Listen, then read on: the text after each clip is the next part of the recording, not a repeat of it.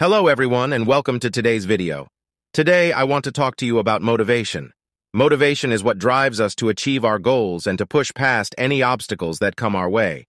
It's what helps us to keep going when we feel like giving up. But motivation isn't always easy to come by. Sometimes we feel like we've hit a wall and we just can't seem to find the energy or the drive to keep going. But that's where we need to dig deep and find that inner strength that we all have inside of us. One of the best ways to stay motivated is to set goals for ourselves. When we have something to work towards, we are more likely to stay focused and driven.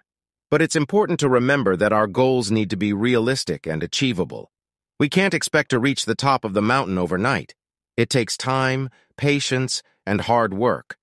Another important factor in staying motivated is to surround ourselves with positive people.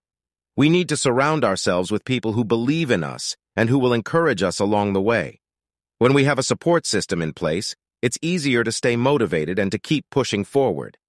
But perhaps the most important thing to remember is that motivation comes from within.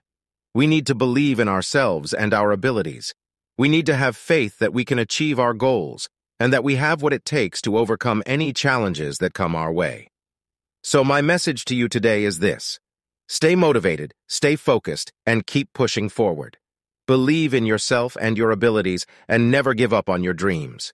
Remember, anything is possible if you have the motivation and the determination to make it happen. Thank you for watching. Subscribe to channel, and I'll see you in the next video.